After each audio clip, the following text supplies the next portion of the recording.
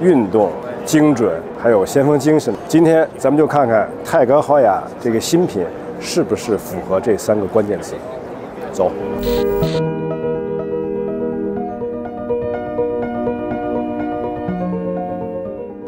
今天我给你们请了一个高人，科后，他就是泰格豪雅的机芯总监。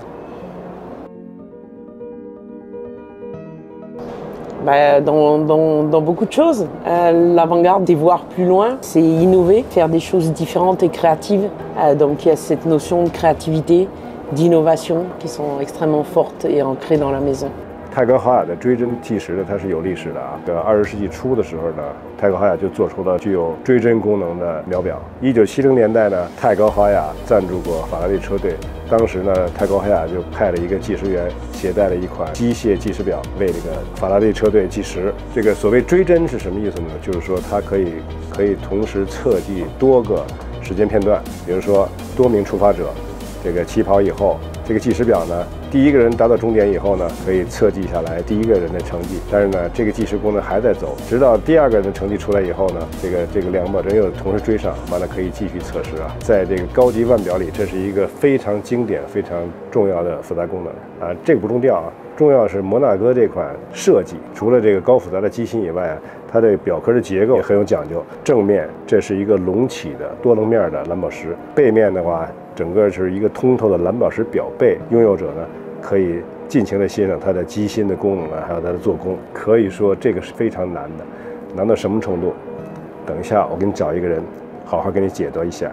Alors, ce qu'on veut faire avec ce retour de la haute horlogerie Taguillère dans, dans la haute horlogerie, c'est vraiment avoir un axe qui, de travail qui est l'ergonomie sportive. C'est un axe de travail qu'on a autour de arriver à, à, à, à proposer des complications qui sont conçues pour faire du sport et des montres qui sont pensées pour faire du sport. C'est pour ça qu'on travaille avec des matériaux très légers, une boîte entièrement en titane, mais pas seulement la boîte est en titane, aussi tout le mouvement. Ah. La platine, tous les ponts sont en titane. La boucle déployante est aussi en titane. Tout ça pour avoir une montre qui fait que 85 grammes. Ah. Et donc, en termes de confort de portée, quand on fait du sport, ça n'a pas d'équivalent.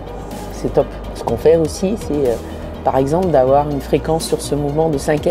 Euh, comme ça, quand il y a des accélérations, des chocs, le, le, balancier spirale avec une fréquence plus élevée et beaucoup plus stable. Donc on assure une bonne chronométrie, même si on a des activités avec des chocs et des accélérations.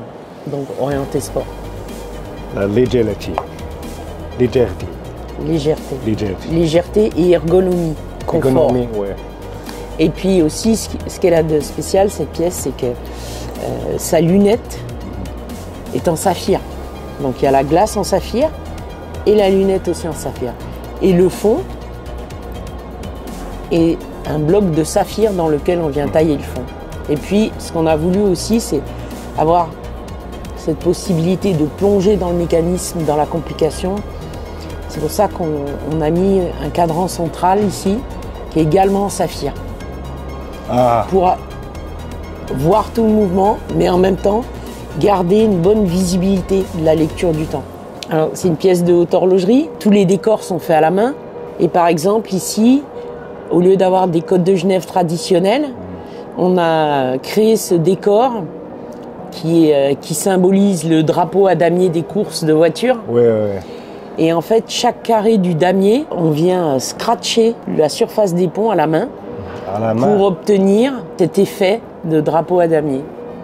Donc juste pour le drapeau à damier, il y a 30 heures de travail. La difficulté, euh, c'est la rattrapante, c'est sûr. Top. Ouais. Pour plusieurs raisons. Pour plusieurs raisons Oui. Hmm.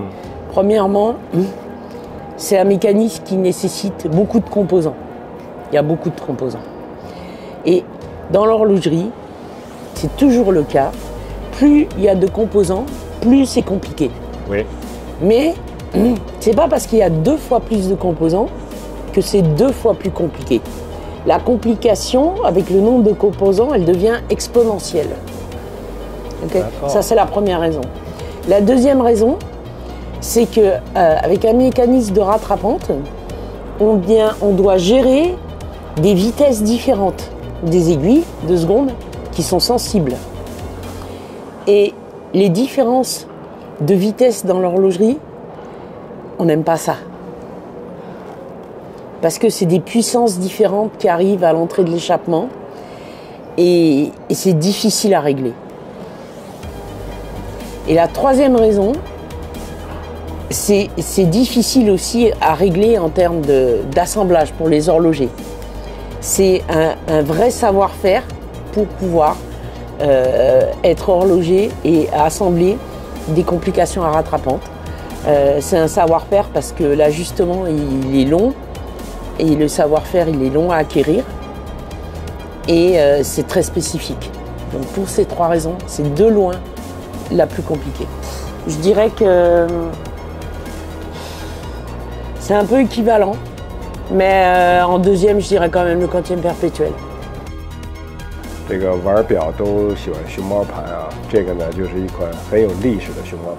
泰格豪雅的这个卡雷拉是六十年代诞生的啊，应该是六三年。到了六十年代末期，杰克豪雅先生呢推出了一款熊猫盘，上一款呢是反色的，这款呢是白脸儿黑眼儿，这是它的造型。机芯一定要说一下，泰格豪雅是瑞士钟表行业少有的可以驾驭自动计时机芯的。常看我们的节目都应该知道啊，我们评价一款自动计时机芯的优越性，主要看几个重要指标，很关键的就是涡轮结构。没错，泰格豪雅这款机芯就是经典的。柱轮结构的集成自动上弦的计时机芯，另外一个它的表块结构也是很创新的，比如说这 glass box 结构啊，你看这个表有表圈吗？别看了啊，肯定是没有了。表盘正面都是被蓝宝石覆盖，包括它的刻度都是在蓝宝石的内侧。另外呢，表盘是下沉型的，还有一些细节，黑色小表盘上的红色指针啊。也是增加了它的运动气息，速度感极强。注意看表格的侧面啊，这个表耳的造型其实也有微微的变化。你看这个地方切了个角。另外一个造型上重要的变化呢是集成式的链带。虽然卡雷拉以前有钢链，但是这款它的造型跟前款是不一样的。可以说呢，从设计上呢，更趋向于成为豪华运动表的这个设计。俗称的“当下有货”。通过这些链节儿、抛光链节延续下来。形成一个整体，复合打磨链节呢是拉丝的，跟中间的部分形成了一种节奏。什么叫豪华？细节营造豪华。这款是凯雷拉的 Skipper 啊，泰格豪雅有赞助帆船赛的历史。比如在一九六七年的时候呢，泰戈豪雅赞助了无畏号帆船队，这个帆船队呢赢得了当年的大奖。一九六八年呢，也就是接下来这年呢，泰戈豪雅为了庆祝这次胜利，就专门做了一款卡莱拉 Skipper。这个表盘这个颜色呢，它是致敬了初代目的用色。Donc, c'est la Carrera avec notre mouvement chronograph in-house. Le TH20. et la particularité qu'il a, c'est que c'est un compteur 15 minutes au lieu de 30. Pourquoi 15 minutes? Bah, Pour les courses de régate des bateaux. Euh, il y a un décompte à rebours de 3 fois 5 minutes, d'où euh, ces trois couleurs différentes sur le compteur de 5 minutes qui symbolisent ces 3 euh, fois 5 minutes de préparation avant le lancement officiel de la régate. Et donc ça permet d'avoir un repère visuel pour les gens sur les bateaux quand ils font des, courses de régate. Et donc l'année dernière, on a présenté euh, cette pièce en acier, et cette année euh, en or, une version en or, très élégante. Oh, d'accord. Donc l'année dernière, il a subi une, euh, une, grosse évolution. Toutes les montres qui sont équipées de ce calibre, de notre calibre in-house, sont garanties 5 ans. Parce qu'on travaille sur la qualité et la durabilité et on est capable d'offrir sur notre base de qualité H1 5 ans de garantie. D'accord. 这制表大师一出手，专家都得靠边走啊！怎么样，泰格豪雅摩纳哥追针计时厉害吧？这表据说是一表难求啊。 不过卡雷拉的熊猫计时也真心不错，我觉得是史上最漂亮的卡雷拉。另外，喜欢卡雷拉的小伙伴们，今年还有一些中性表款可以满足你对泰格豪雅、对卡雷拉的爱。今年我们会多分享一些泰格豪雅的表款的，有问题赶紧问。